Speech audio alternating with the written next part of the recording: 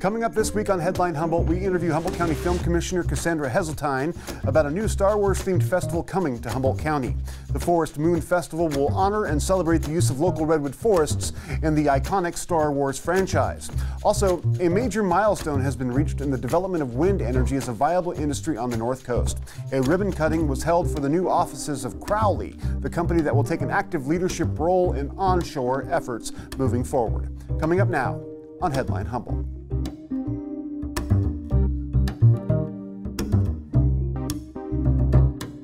From the top of Humboldt Hill, this is Headline Humboldt. I'm James Falk. Thanks for joining us. Even back in 1983, when I first saw Return of the Jedi, I recognized that something about that lush green and forested moon of Endor struck me as eerily familiar. I would later learn, of course, that many of those scenes on Endor, where Ewoks and speeder bikes apparently reign supreme, were actually filmed in our region of Northern California. Those scenes are, of course, stunning cinematic gold, and they do a whole lot by themselves in advertising for all the world just how beautiful our area can be. Star Wars, for kids in my generation, was a rite of passage, a ready made myth for understanding who and what we are and how we should be prepared to fight for what's right. Through the use of archetypal tropes and a grand narrative of conflict and resolution, the original trilogy reached deeper into our collective subconscious than perhaps any previous film we can name. It resonates even today.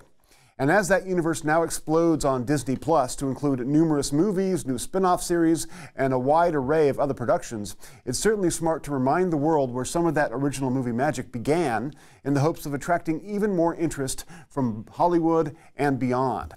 This new Forest Moon Festival will do just that, and we'll talk a little bit more about that in just a few minutes. But first, we're going to go to reporter Ryan Hudson, who turned in a report this week to honor and reflect upon the death of Josiah Lawson six years ago.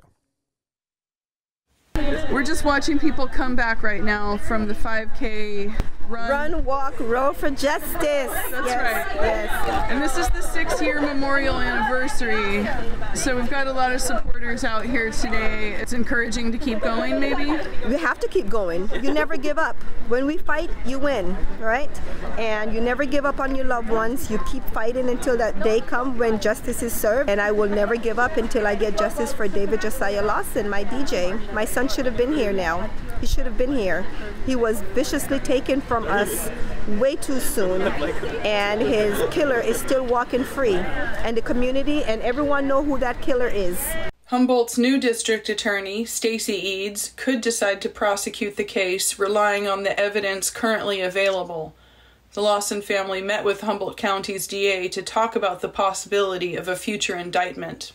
Well, I met with Miss Eads, um, myself, our supporters, along with um, Black Lives Matter LA, mm-hmm. and um, I actually arranged. I reached out to her and um, asked for this meeting, and she said yes. So I was grateful to her.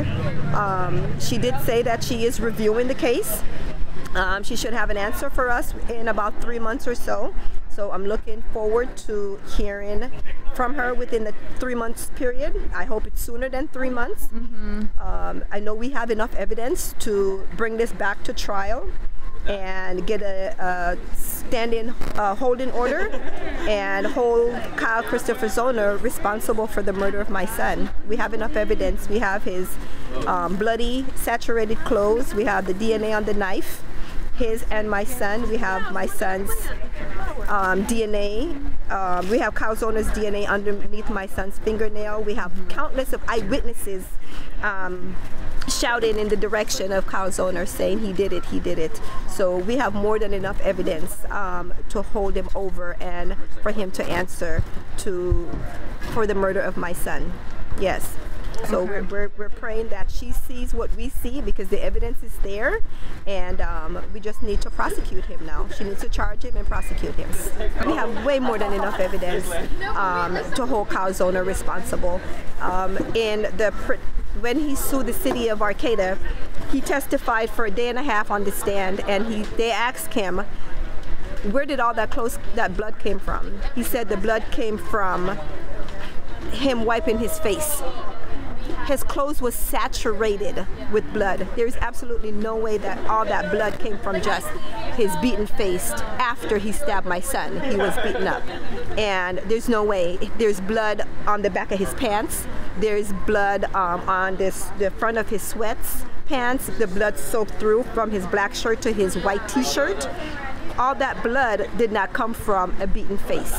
And Detective Dokweiler also stated that amount of blood came from someone that was involved in a a butcher, a butcher um, uh, uh, situation where my son was bleeding out. So Kyle Zoellner is the responsible party for the murder of my son, and he needs to be held accountable.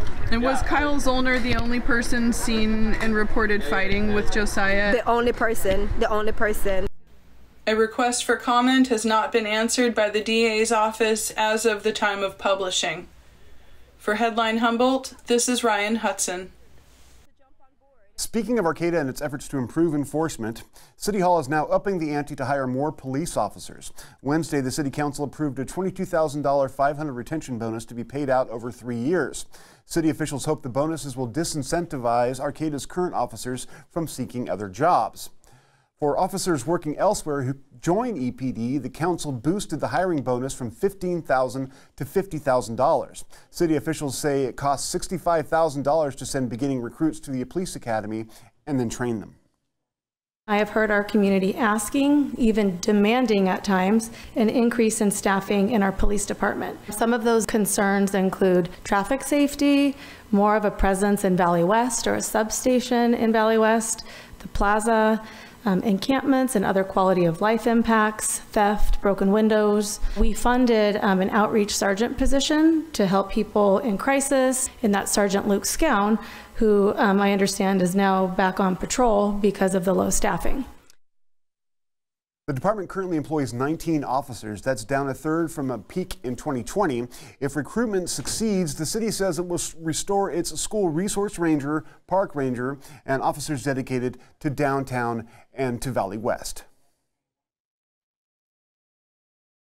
I'm here now with Cassandra Hesseltine, the Humboldt County Film Commissioner, also Del Norte County, right? Correct. It's kind of a joint uh, project? It is, yes. Okay. We call it the Redwood Region. Okay.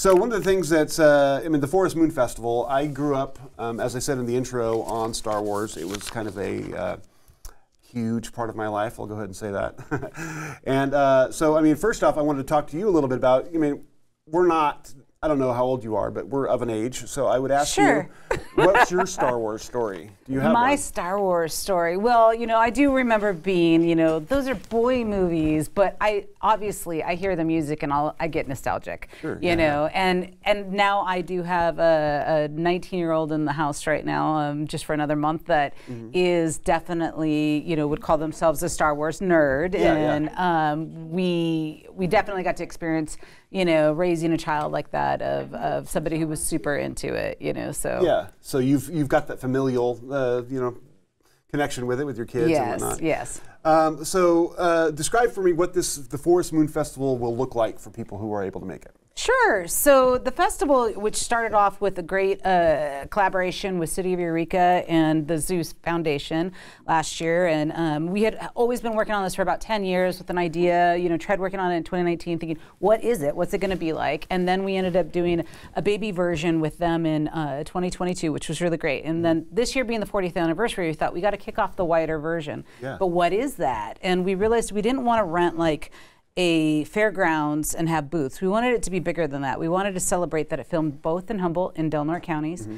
And we thought that we would make it more like a holiday, if you will. So, like Fourth of July, where people, everybody wears T-shirts and dresses up and decorates, and then there's activities everywhere that are celebrating that. Well, we want the same thing. It's like we've created a holiday yeah. uh, for the region, and mm-hmm. so we want everybody, you know, wearing costumes. We want everybody decorating. We want businesses, restaurants hotels, uh, all the businesses, you know, downtowns, everybody decorating. And then we want other activities on top of that. We ourselves are going to be showing a screening in Garberville, uh, Eureka, Arcata, uh, and Crescent City. Okay. Um, wow. And these are outdoor screenings. Um, so it'll be at the Mateel. Well, two of them are outdoor. Sorry, two of them are indoor. One will be at the Mateel, Sequoia Park, Cal, with Cal That's Poly. That's the one to go to, I think. uh, they're all going to be pretty amazing. No, the Cal sure, Poly sure. is going to have um, a panel afterwards, and I can't say who's on the panel yet, but I can tell you maybe somebody who actually helped make the movie is Oh, on the panel. cool. So that Yeah, one's going to be awesome. pretty Yeah, cool yeah. too. Thanks to our sponsors that help are helping make each one of these screenings happen. And then we have the beachfront one uh, as well up in Crescent City, which is going to be amazing and kind of kicks it off Friday night. Yeah. So there's activities that are going to be happening throughout with that. And then we have other activities like Crescent City is going to be doing a Jedi training course. Sequoia is going to do a Jedi training course with Okay. the City of Eureka. Um, the zoo is going to be doing an amazing thing again. I know that there's a And the dance in skywalk is also can f- sort of fit into this. It's, like, yeah, yeah, it's almost like as if you're in a Ewok village. So Yeah, there's yeah. things everywhere. We're getting the schedule up, and um, we just ask everyone be patient with us because we're creating while we're executing at the same time. Sure. Finally got permission to do this in January from Lucasfilm, and so we've had four months to basically create and execute.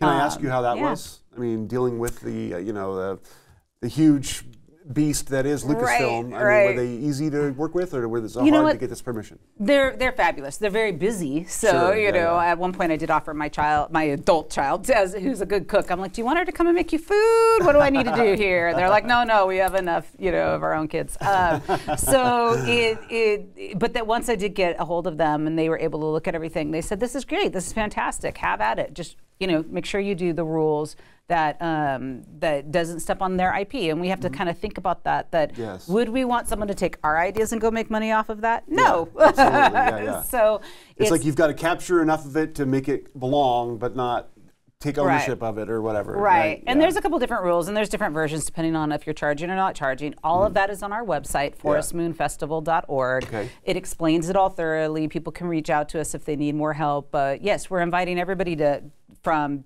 you know decorating their business to creating an event to you know having a pop-up depending on all the different versions of what you qualify for and how you want to do it and it explains how you can do all of that safely um, so on the, that on the website. yes it does And yeah. the dates that we're talking about here, can you be specific on First weekend June? of June, so June 2nd and 3rd. We wanted to be able to include things like Arts Alive, you know, which is falls on the first week in Eureka. Yeah, yeah. Um, you know, we wanted Farmers Market and Arcata, things like that. So we got, we're doing it Friday and Saturday um, this year. We'll probably expand to three years next year. Okay, awesome. That sounds uh, amazing and exciting. Yes, Um, and we have a great team too. We have uh, Tiffany Miller Designs is also helping produce this, which her and her team are experienced um, producers and director in Hollywood who are now in the region, and so um, we're really lucky to have them. Yeah. Now, so I was going to talk a little bit about your job also and sort of how all this fits in. Um, I mean, basically, your job is to encourage and support the film industry coming up here Mm-hmm. and using Humboldt County as a, uh, a set for their car commercials, their movies, whatever you can get up here, right? Correct. Yes. Yeah. So we market the area to the film world. Yeah. We help them when they're on the ground, and then we focus on film tourism when they leave.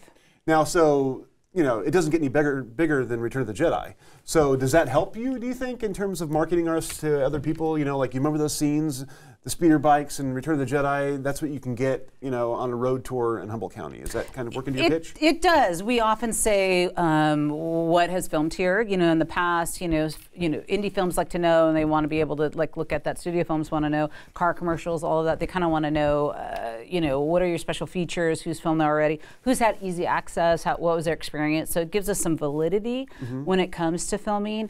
The the only thing is sometimes it can be a deterrent, except for it ended up working in our favor. So, for instance, with A Wrinkle in Time, Ava DuVernay and, and the Yeah, yeah. Disney folks were like, "Oh, I know you've already had Return of the Jedi there. You know, it's so epic that w- we won't stand a chance filming there. You've already done ah, that." Ah. And I said, "Okay." And we were looking at other different types of trees, which I'm like, "If you're going to come here, why aren't we looking at redwoods?" Yeah. So I said, "Well."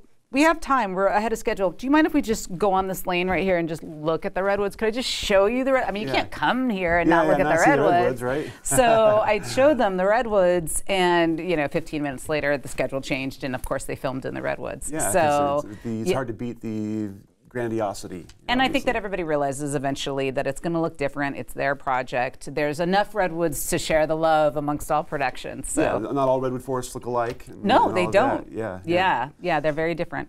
So now, how? I mean, we've we're recently coming out of COVID, and I know that uh, I mean you've been working on this project to sort of raise our, uh, you know, I don't know how you'd call it, uh, raise our profile in Mm-hmm. the business. How's that going? I mean, did COVID push push us back? Are we where we were at prior to COVID? Are we booming and busters into the future? Where does that stand? Actually, we were we actually did really well during COVID. Surprisingly enough, we had an Apple movie that was already interested in coming to us um, A24 slash Apple movie that was already w- wanting to come prior to the pandemic. And so uh, we ended up having that film and a handful of other smaller things. So we did very well uh, during the pandemic. And then coming out of it, we were continuing to do well. Normally, when there's some type of problem in the world um, or the rest of the, you know, a larger outside of California, a lot of filming then stays close to home and stays in California. And we were kind of anticipating our numbers would get bigger. Um, and they started to do that but the one thing that did hurt us is not that is now we are going into a writer strike. And so right. the writer strike is actually what's hurting everybody right now. And the streaming platforms having to decide what they're going to do. Like Netflix is now going to be charging for your IP address at your one house. You can share amongst your family, but you can't share with like another friend or family at another house. So Yeah. there's things that they're having to figure out, and that changes how much content they're creating um, and purchasing, and then how much filming they're going to be doing. So things that are really outside of our hands are happening, which is why we're focusing on the festival now too. We still have filming. We currently have a couple projects here right now in town Yeah. But it's just not at the same level that we would have liked to have seen. So we thought, well, let's switch a little bit and focus on our, our third focus, which is the film tourism. Now, so with the writer's strike, I mean, basically production would cease or planning for productions would cease at, up to a certain point. There is Because right anything that involves writers, you Yeah, know. yeah. So that's like what you don't was have it? product to produce if you don't have. Right in the early 2000s, when there was a massive writer strike, that's huge. when reality TV came out Yeah, because they went Survivor, or not Survivor, but uh, Lost shut down, had a season. I mean, it was right. terrible. I yeah, and, and a lot of it has to do with they, they don't need you know if you don't need the writer like if that's when they realized reality TV doesn't need a writer. Exactly We right, can so that's when that boomed. Ah. Um, so probably whether you like that or not, we might get more uh, reality TV, those kind of shows, Yeah. commercials. We'll still get things. We just won't get the narrative content that we normally like to have and be part of. Yeah, you know, it's interesting. It's like you'd think that the job wouldn't have changed that much, but you mentioned like we are in a world now where there's so much content being produced by online providers like Netflix and Hulu and, and all those sorts of things. I mean, I imagine you spend a lot more time sort of trying to, you know, keep pace with what they're doing and what they're looking for, rather than just pitching to studios, right? That's not really what you do anymore. I'm sure. Yeah, no. I mean, I've done some meet and greets where you go down and you pitch to a studio and you say, "Hey, keep us in mind." Yeah. But a lot of what we do is instead of to the ex- studio execs, it's really the location managers. That is Okay. really who is the person that's in charge of even scouting and exploring. So they learn from the production designer, the director, the producers, what is it that you're looking for? What do you see in your mind's eye when you read the script? And then they put on their creative hat and then they go look for that location then when they're looking for that location then they're also going to figure out logistics you know they're going to see is it uh, you know close enough to a base camp to have my whole crew come there but look like we we're far deep in the woods but we really are in a parking lot you know Yeah. um, is it feasible as far as having hotel stays and we can bring in caterers and can we get talent there and all of those things so they have two hats they have to wear they have to be creative to tell the story that all But the pragmatic. yeah, the but time. yeah, they have to know is it really film friendly, Yeah. and that's what I've worked hard on is really getting our area film friendly, you know, and understanding, you know, what does it mean to be part of the productions and, and to help out with that. Yeah, absolutely. It's fascinating work that you do. I mean, would you? Um, we've had several movies here that have been big names before. We talked about Return of the Jedi, but then also there was Outbreak and there was uh, The Majestic, and uh, each one of those has their own, you know, list of stories that goes along with it. The Majestic was disruptive for the town of Ferndale, and there were some issues there. Do you feel like we're learning from each of these projects and, to, and how to become a better host? County or is it something that it kind of just depends on what the personalities are of each individual project Well, I think both can be true, right? Yeah. You know, you're always going to get something unique and different about a project and what they want, maybe that we hadn't anticipated or have ever, been asked about before. Uh, you know, but I think one of the things was that you know I came in as somebody who was a producer of 12 years. You know, I'd done uh, three feature films and an episodic television show, so I knew what I needed when I went. Especially my television show was uh, on location. what I, show was that if you don't mind me asking It's called Hacienda Heights. It didn't do Okay. great. no but it was but it was enough. and, it, it taught me a lot. It- you know, it was on the Bay Area. It played, you know, up and down in the Bay Area and then inland, and Yeah.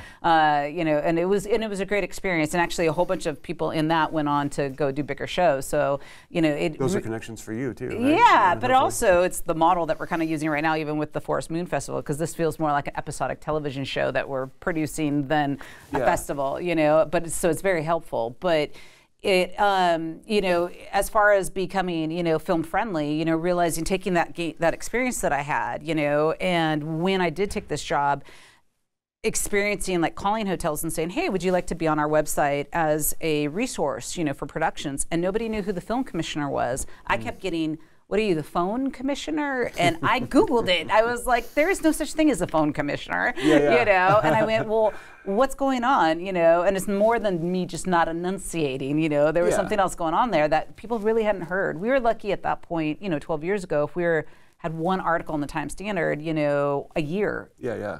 granted this is you know as uh, social media is taking off but we were able then to go you know what our our audience isn't just productions for us to be marketing to we need to market to our home here as well so that everybody understands what it means to be film friendly so uh, i think that taking that knowledge that i had um, educating the community and then everybody embraced it and they're doing amazing so when we do get these requests we are able to you know be a little bit more up to par of what they need. Yeah. What would you say? I mean, we have about a minute and a half left. What would you say is the number one selling point for Humboldt County as a place to come and film? Well, it's the redwoods. Of course, I mean, it, Yeah, I you know, it's the easy. beauty. I think that what, one of my favorite things is I remember my first walk, which I can't tell you how many years ago that was, uh, when I came to come to what is now known as Cal Poly Humboldt, but at the time was HSU uh, as a freshman, 18 years old. And I went out in the forest in white jeans. You know, Mm-hmm. I'm sure you can imagine how that ended up. Never wore white jeans again. And but seeing the trees for the first time just blows your mind if Yeah, you've never been in absolutely. anything like that epic. And so every time I take a production out, I always go, "Oh yeah, they haven't seen trees yet. This will be fun." And then I live it through them. I mean, I, I feel like I'm going to get verklempt, you know, yeah, no, I talk hear amongst yourselves, you know, like yeah. it's really, you know, it's overwhelming to like go, oh my gosh, the beauty of what we have here, the coastal, you know, the coastline, uh, the Victorian villages, the architecture, you know, the quirkiness, the weirdness, you know, all Mm-hmm. of those things of our area. Um, it's just really neat. And then people love, on top of that, we really make sure to include. Uh, you know, other amenities like Humboldt made products in a gift basket for them, so they experience our art and our culture. Yeah. You know, we take them out to the restaurants that we have. They experience our farmers markets and just really see how how you know really cool we are here. And Yeah. they will often, you know, I've had even Ava Ver- DuVernay say, you know. What's real estate like, you know? And, and you know, seriously, and Yeah. has looked into purchasing maybe a house here, you know. Yeah, so they really feel the vibe of the whole thing. It's not just our locations, And it's but it starts just- with that. Yeah, it starts with that, but it also sells our whole community. It like. really, really Yeah. does. Yeah. Well, I appreciate your time. Thanks for coming down. Thanks It for was having me. we- A little hectic getting started, but we yeah. got it going. So Yeah. Thank you. thank you. We'll be right back after this short break. Hi, I'm Tracy Barnes Priestley, and I want you to join me on season three of What's on Your Bucket List. Are you excited to learn a new skill or curious to explore something you've only dreamed about? This show is for you. If you are at least 60 years old, please join me for an experience you won't forget right here in Humboldt County. To apply, go to keet.org or call 707 497 5052. Now, what's on your bucket list? Friends and supporters of KEET TV, we are calling all who have a passion for public television on the North Coast. KEET is looking for a diverse group of people to join its Community Advisory Board, or CAB. CAB members play an advising role to management and act as KEET's ambassadors within the community.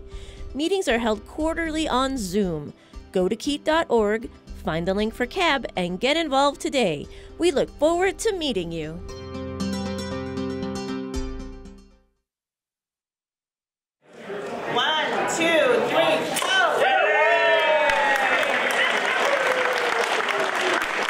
Humboldt's offshore wind industry celebrated a milestone at the Wharfinger Building Wednesday.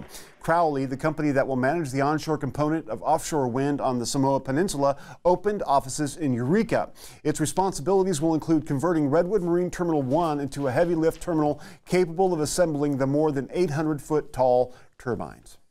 We often talk about how much we need a new industry or a new set of industries to help diversify our economy. Just our state alone has set targets that are four to five times what the current leased projects at full capacity will be able to produce. So we really are going to need a lot of energy um, through offshore wind, and I think you know Humboldt is poised to be a key player in that.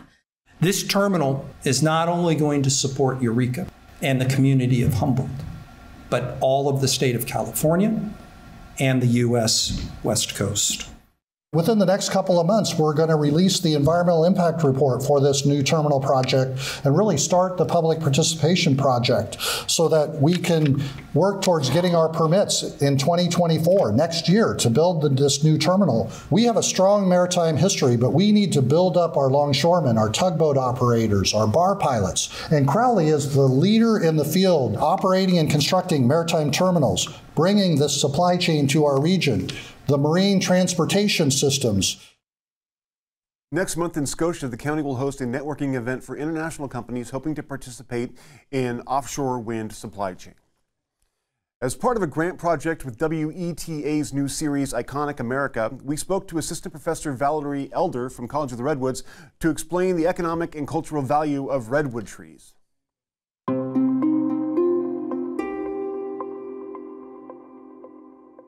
Hi, my name is Maddie. I'm a professor here at College of the Redwoods in our Forestry and Natural Resources Department. I have the opportunity to teach dendrology, which is the study of all of our woody plant species and working to identify those, um, so our trees and our shrubs. In addition to teaching Intro to Wildland Fire, all of our GIS classes, Forest Health and Protection, as well as a Tech and Applications class. Um, on a great day, and as many days as I can fit into the semester, we spend it outside enjoying enjoying these amazing redwoods and all of the communities that are found amongst them. Awesome, so let me show you a little about my favorite part of the redwoods. Uh, first things first, let's talk about their bark. So this right here is actually a member of our cypress family. So redwoods are more closely related to cypresses than they actually are our pine species. So you'll notice that this bark has got this beautiful red color. It's fibrous in nature, it's quite stringy. Um, and this is due to those tannins that actually the bark is composed of, which helps to uh, fight against diseases and also insect outbreaks. It's really amazing. These trees can actually form quite a protective layer of bark.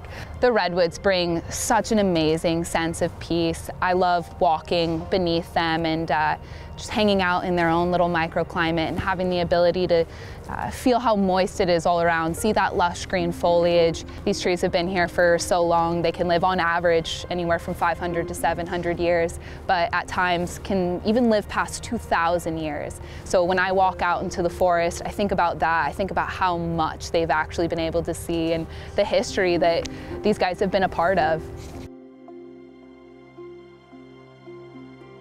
You can watch Iconic America, our symbols and stories, right here on KEET TV, Wednesday, April 26th at 10 p.m. You know, it's one of those synchronicities that redwood trees were just like the subject of the show this weekend, and it's, it's a fine subject. I mean, trees are awesome. That's it for now. Have a great weekend. Stay tuned. Stay informed.